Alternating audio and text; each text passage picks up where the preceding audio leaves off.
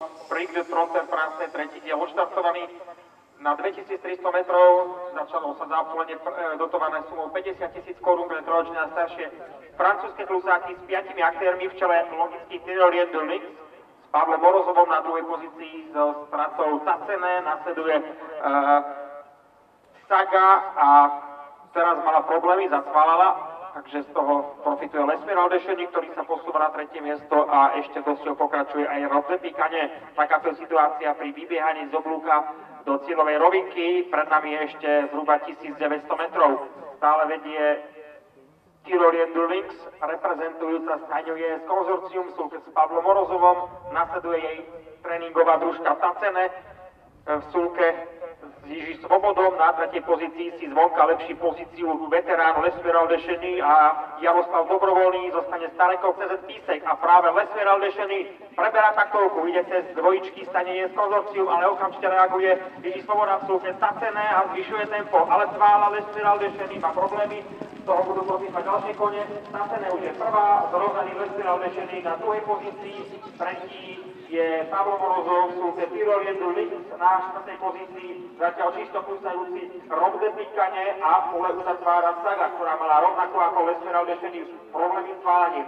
Trojica koní v oblúku za cieľom sa utrhla, v čele je momentálne Lesmeral Dešený a Tacené, na tretej pozícii potom aj Tyrolien Lix, v takomto poradí kone vybiehajú na protiláhlu stenu. Štvrtý je Rob de Pikane a pole uzatvára Saga zhruba kilometr do cieľa sa tempo naťahuje, stupňuje a v čele je stále Jaroslav Dobrovoľný v súke Lesmerala Dešení.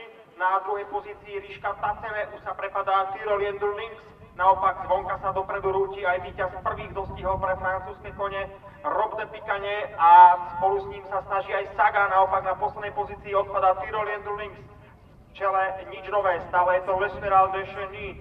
Už 13-ročných dedývalách reprezentujúci stajňu Staré CZ Písek s Jaroslavom Dobrovoľným na druhej pozícii je Tacené a lídrovi sparring partneri sú na treťom a štvrtom mieste, konkrétne je to de Pikane a Saga, ktorá ide pri bariére.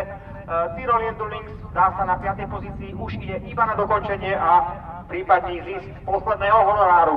Pred nami je cieľová rovinka záverečných 350 metrov, Tacené a teraz som tam videl trošku problémy, ale Lesmer Aldešený stal na prvej pozícii, Tacene finišuje na druhom mieste a zvonka sa ešte rúti aj e, Rob de Pikane, na, Saga na bariére, zase už nezvykli, je to súboj dvoch koní, na dištancii je to stále Rob de Pikane a zvonku Tacene, ktorá vyzerá možno lepšie, je menej pobádaná a zdá sa, že pôjde do vedenia a vyhrá tak ako pred dvoma týždňami Tacene alebo Lesmer Aldešený, Tacene a Ježíš Svoboda Na druhom mieste Lesmera Lešení, na treťom Saka ďalej Rob a poradie uzatvára Tyrol